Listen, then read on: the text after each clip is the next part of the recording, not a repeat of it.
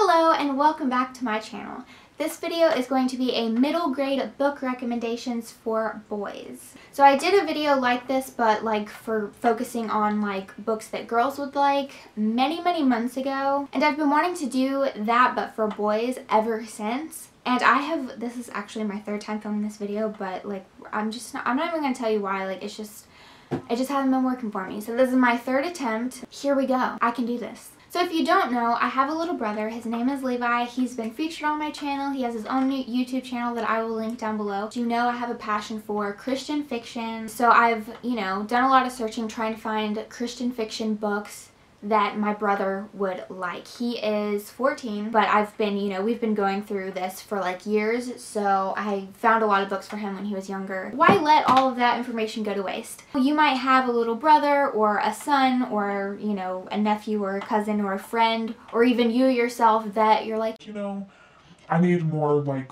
good book recommendations in my life, specifically like Christian fiction, like inspirational kind of stuff. Like, I'm here to help you out today, hopefully. So really, the books that I'm going to be talking about anybody can read obviously but it's just like mostly like the other video I did for girls I was really talking about books that only girls would like and appreciate, but I'm focusing on middle grade like boys. That's what I'm focusing on right now. These happen to all be series. I didn't mean for it to be just series, but like I guess I don't really read standalones that often. I'm coming at you with like dystopian, apocalyptic, sci-fi, fantasy, and even a mystery series. So yeah, let's just get started. So this first series you all saw coming. It's one of my favorites to talk about. That is the Kids Left Behind series by Jerry Jenkins and Tim LaHaye. When I originally read about it, it said it was recommended for ages like 9 to 12, but then I've seen other places where it was for like 10 to 14 or something. I read it first when I was about 12 years old and I think that's when Levi started reading it, so that's what I would recommend it for maybe a little younger. Uh, it's kind of hard for me sometimes to really know the best age for something, but I kind of lean towards maybe ages 12 and up. But anyway, I'll read you the description from the back of the first book, Taken. It says, Millions of people have been raptured, and those left behind must choose to accept or reject the Savior as they move forward with their lives in the aftermath.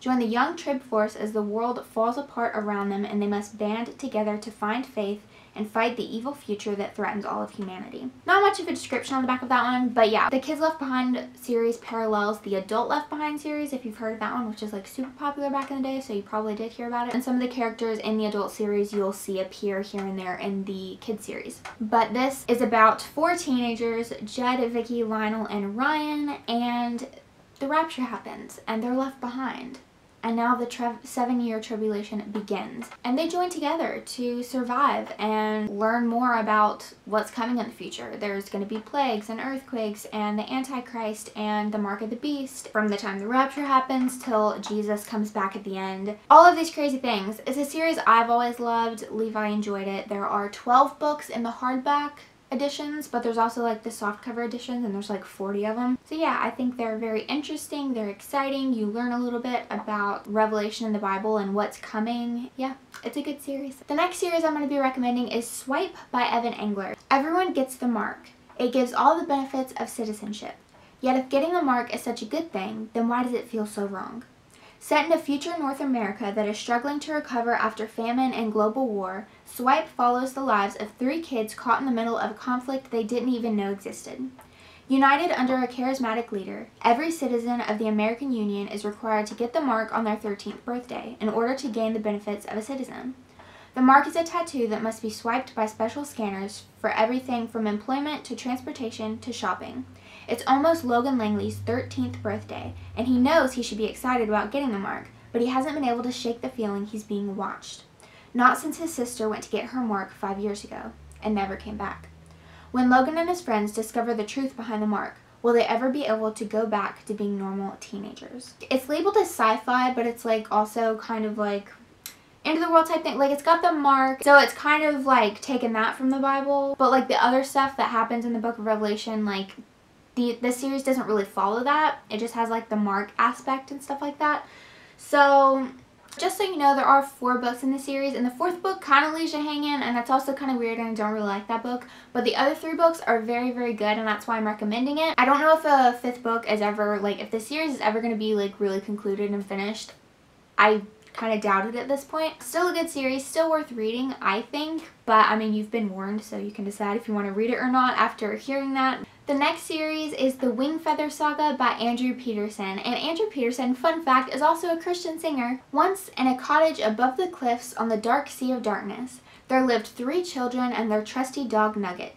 Janner Igby, his brother Tink, their crippled sister Leeli are gifted children as all children are, loved well by a noble mother and ex-pirate grandfather. But they will need all their gifts and all that love to survive the evil pursuit of the venomous fangs of Dang, who have crossed the dark sea to rule the land with malice and pursue the Igbys who hold the secret to the lost legend and jewels of good King Wingfeather of the shining Isle of Anniera. Andrew Peterson spins a quirky and riveting tale of the Igby's extraordinary journey from Glipwood's Dragon Day Festival and a secret hidden in the Books and Crannies bookstore, past the terrifying black carriage, clutches of the horned hounds, and loathsome toothy cows surrounding Ankle Jelly Manor, through the Glipwood Forest and mysterious treehouse of Pete the Sock Man, known for a little soft shoe and wearing a tat tattered socks on his hands and arms, to the very edge of the ice prairies. Full of characters rich in heart, smarts, and courage, On the Edge of the Dark Sea of Darkness presents a world of wonder and a tale children of all ages will cherish, families can read aloud, and readers' groups are sure to discuss for its layers of meaning about life's true treasure and tangle of the beautiful and horrible, temporal and eternal, and good and bad. It's not my typical type of book that I would read, but it was still very just like entertaining and fun and quirky and just like very different. It's just fun and so I recommend it. The next series is Robot Wars by Sigmund Brouwer. Set in an experimental community on Mars in the year 2039, the Robot Wars series features 14-year-old virtual reality specialist Tyce Sanders. Life on the Red Planet is not always easy, but it's definitely exciting. Tyce finds that the mysteries of the planet point to his greatest discovery, a new relationship with God. He talks about his growing faith and curiosity in a manner that kids can relate to as they are probably wondering some of the same things. So in one book, the Mars Project is in trouble and only Tyce holds the key. In another adventure, Tyce has discovered there may be killer aliens on the loose, um, etc. Just stuff like that. And his life on Mars. And I only read the first book in the series before I handed it off to Levi and he read the entire series and loved it. I think he read it when he was like 10 or 11 years old. Just like a good solid Christian sci-fi series it seemed to me. So if you're into like sci-fi and stuff like this is for you. You need to check it out. This next series you should have seen coming also. The Kingdom series by Chuck Black. Have to recommend this one. It's medieval fantasy. I love this series so much. Good and Evil Clash. Leinad and Cedric are determined to not only survive but claim hope and victory. In Kingdom's Dawn, Leinad and Tess, along with all the king's people, must escape slavery by the powerful Lord Pharaohs. Kingdom's Hope, uh, spoilers, I don't want to tell you. After many years, Kingdom's Edge finds Cedric living in a hopeless life until a stranger appears with powerful words of a new kingdom and a grand army. Finally, Kingdom's Reign marches you through the danger of Earth's last days as the evil Dark Knight threatens to defeat the prince once and for all.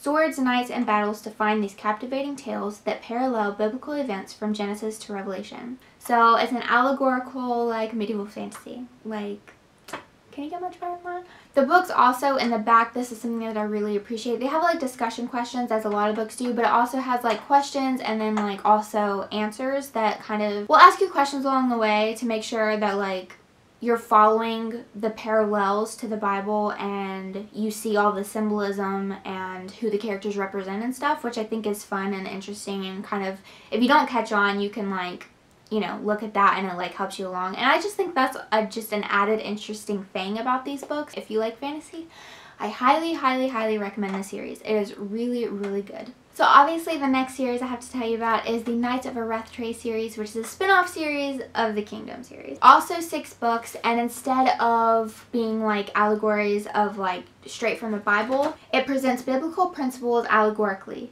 Each book teaches about virtues and vices conveyed through the truth of God's Word. I love the series. I like it probably even better than the Kingdom series. I just love them so, so much and they're just like really, really good and you need to read them. So the next series is Prince Warriors by Priscilla Shirer. As brothers, Xavier and Evan are used to battling each other, but now they're discovering that there is a much bigger battle going on all around them and it's their turn to fight. The Prince Warriors is the first book in Priscilla Shirer's new epic new series that brings to life the invisible struggle ensuing in the spiritual realm. Xavier, Evan, and their friends have typical lives until they enter a mysterious land called Ahoratos. There they meet their guide, Ruach, who offers wisdom and direction as the kids' initial adventure begins. An adventure filled with armor and danger and a very real enemy. So again, this is a book that I only read book one of, but Levi read two or three of the books in the series uh, several years ago. So I don't remember a whole lot about it, just the main kind of thing about it being kind of like the spiritual realm and the armor of God and stuff like that. And I remember it be, seeming like a really like solid like Christian series. Highly recommend that one if you're into fantasy. The next series recommendation is The Quest for Truth by Brock Eastman. This is a series both me and Levi read the entire series. I, as an adult, really enjoyed it. Ignore any mispronunciations of anything. I'm doing my best. Five, four, three, two, one. We're out of here. Suit up, jump into hyperflight with the four Wit kids. Forced into a high-stakes hunt for their missing parents by the sinister Captain Vedrick, the siblings' only hope is their parents' Archaeos e-journal. Can Tiffany decipher the clues within it? As time runs out, it's all up to Oliver and his Federation training to fly the Phoenix and protect his crew. But twins, Mason and Austin, endanger the mission when they unexpectedly meet the Blue Boy. The Quest for Truth series unfolds as the four Wit kids are thrust into a desperate race to find the mysterious planet Ursprung and stop the Ubel renegades from misusing its long-lost secrets. Ancient cities, treacherous villains, high-tech gadgets, the Phoenix, encounter all of these and more on this futuristic interplanetary adventure. So yeah, I thought it was a very fun series. Mainly just like about a bunch of siblings are the main characters and I think that's a really fun uh, thing to it and I really enjoyed that aspect of it. I thought it was a very good series and I enjoyed it a lot. This next series I'm almost like not sure if I should include it just because all of these other series I've read at least one book in the series so I feel like I can like recommend it. This one I've actually never read any of the books in the series. It's just one that Levi read several books in the series and he really liked it. And it's by Jeremy Jenkins and Chris Fabry, which are authors in the Left Behind Kids series, which I really love and recommend. So I kind of feel safe recommending this and it's a Christian series. So I'm going to go ahead and recommend it. But I also haven't, I kind of, I don't know. But I feel safe recommending it because, yeah, like it's a Christian series written by authors that I'm familiar with and Levi read it and really, really liked it. Anyway, it's the Red Rock Mysteries by, again, Jerry Jenkins and Chris Fabry. Watch out, the Timberline twins are on the loose. Bryce and Ashley are ATV riding tweens from Colorado who unearth action-packed mystery and adventure wherever they go. From clearing the name of a local miscreant to thwarting a gold-stealing heist, the twins' growing faith and the strong example of their parents guide them through even the most life-threatening situations. With the trademark page-turner style used by Jerry Jenkins and Chris Fabry in the Left Behind the Kids series, these fast-paced books will keep even reluctant readers on the edge of their seats. Readers will definitely get hooked by the unbelievable cliffhanger at the end of Book 1, Haunted Waters. Perfect for ages 8 through 12. So yeah, I'm to go and recommend this one. Like, it sounds like a good series. Levi really liked it. So yeah. And I don't think this video would be complete without lastly recommending the Narnia series. Like, you didn't think I was going to go through this and not recommend that series. Like, you probably know about the series, you've probably read it or watched the movies or whatever, but like, I'm putting it in here. Narnia, the land beyond the wardrobe door. A secret place frozen in eternal winter. A magical country waiting to be set free. Lucy is the first to find the secret of the wardrobe in the professor's mysterious old house. At first, her brothers and sisters don't believe her when she tells of her visit to the land of Narnia. But soon Edmund, then Peter and Susan step through the wardrobe themselves. In Narnia, they find a country buried under the evil enchantment of the White Witch.